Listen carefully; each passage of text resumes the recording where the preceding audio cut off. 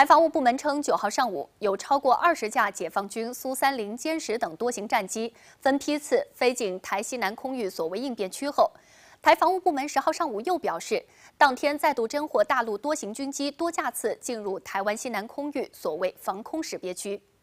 台湾防务部门十号表示，当天上午再度侦获大陆军机苏三零、运八等多型机多架次进入台湾西南空域所谓防空识别区活动。台湾防务部门老调重弹称，台空军派遣空中兵力严密监控应对。台当局最高军事研究机构公告，本周起进行密集火炮与导弹测试，时间自九月八号至十七号期间，其中八号、九号试射的最大弹道高度定为无限高。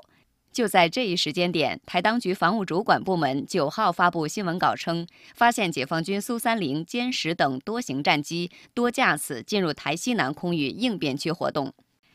台媒称，台防务部门所谓进入台西南空域应变区活动是一种模糊的说法。应变区就是台战机在台西南空域所谓海峡中线以东的应变空域。换言之，这次解放军飞进台西南空域，不仅飞过所谓中线，而且飞得更里面。报道称，虽然过去也有二十架各型解放军军机飞西南训练，但仅一两架战机趁势拐进台空域，而且是在同一空层。